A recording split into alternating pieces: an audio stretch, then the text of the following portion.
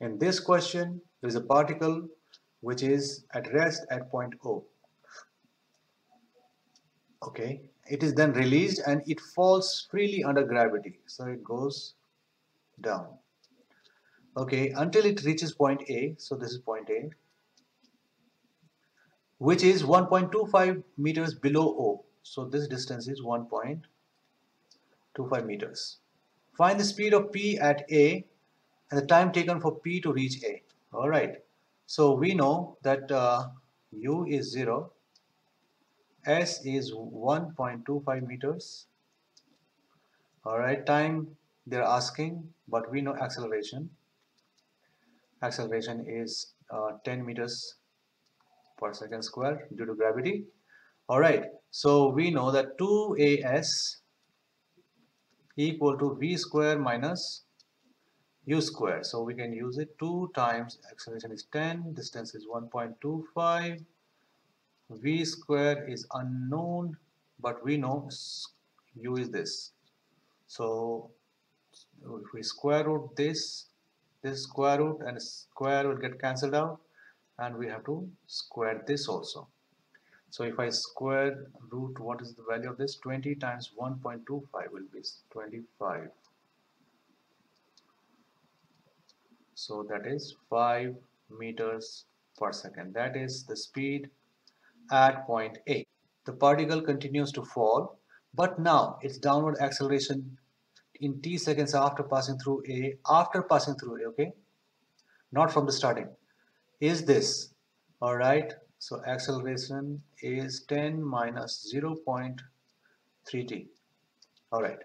Find the total distance okay? Distance it is not displacement. Keep in mind we can get displacement directly from acceleration but not distance. Okay. P has fallen 3 seconds after being released from o. 3 seconds after being released from o. We didn't find time in previous one right? We have to find time also. So let's find time also first. So let's do it here.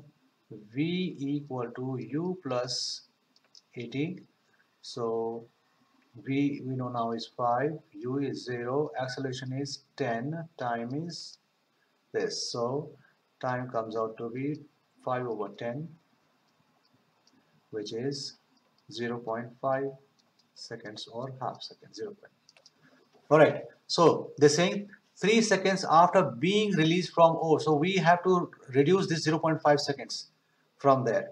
All right? So let's start First, we need to find distance and we have acceleration. That means we have to integrate this so that we get velocity.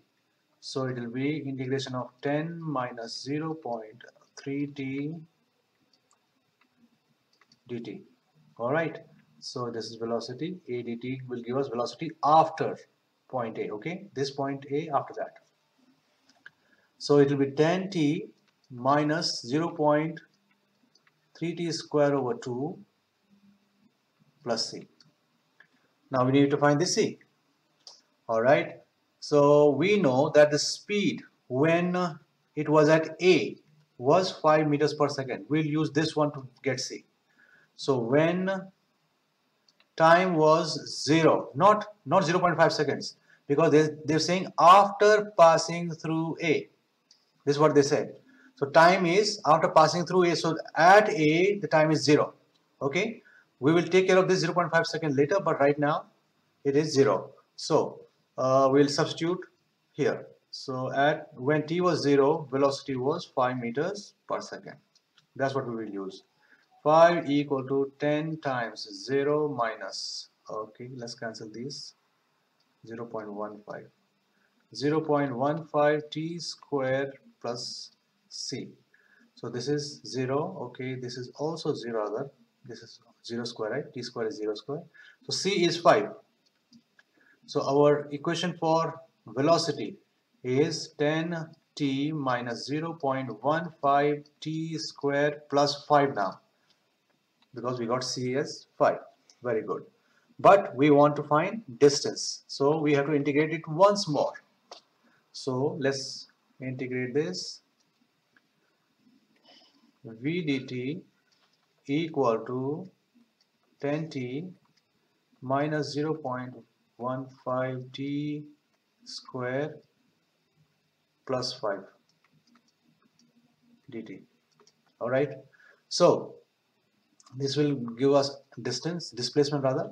Okay. And it will become 10t square over 2 minus uh, that becomes 0.15 t cube over 3 plus 5t and plus c. Okay so now we have to find c. How can we find c? The s is the distance from a this from a right?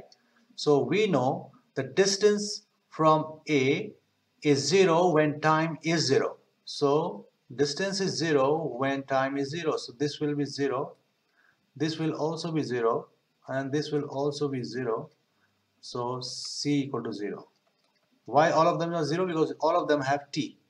Yeah? A t is 0 let's confirm from sentence why I took time equal to 0 look the particle continues to fall and uh, downward acceleration acceleration this acceleration is t seconds after passing through a. So the acceleration is from starting from a that means the dis displacement will also be from here. Okay? So now we will write the final equation. S equal to uh, 10 and 2 will get cancelled. 5 t square 3 and this will also get cancelled out 0 0.05 yeah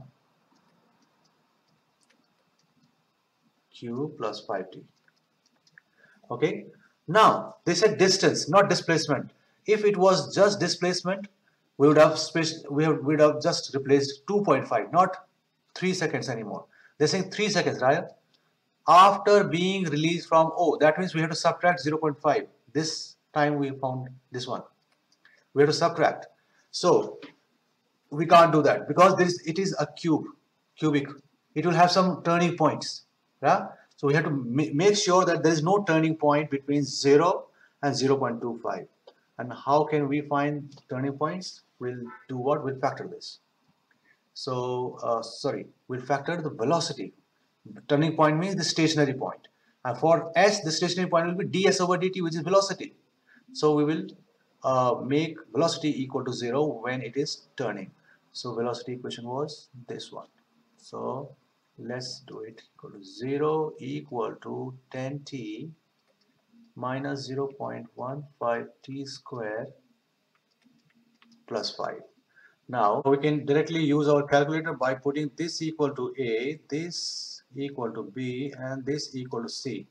Using my calculator I got turning point at 67 seconds very very high which is not between 0 and 2.5 seconds. So that means we are free to use this equation just substitute 2.5 because there is no turning point so 5 2.5 square minus 0 0.05 2.5 cube plus 5 2.5 it gives us 42.97 meters. Let's see the question again. Question said, find the total distance P has fallen 3 seconds after being released. That means being released from O, it already uh, traveled how much distance? 1.25. Can you see here? 1.25 was given. So total distance is 42.97 plus 1.25 and that is about 43.44 which is about 44.2 meters. That is the total distance traveled. So it is not necessary to find turning points but it is very good in some of the questions. There are turning points and that because of that we need to add different distances. So because there was no turning point we were lucky here but you should find the turning points before finding the final answer